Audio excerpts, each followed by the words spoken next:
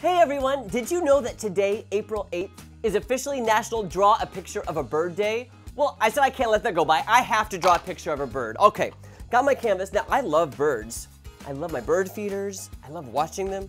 Okay, a little bit of paint. Okay. Ooh, this is turning out nice. Oh, I like that. Oh, yeah. Oh, I'm done.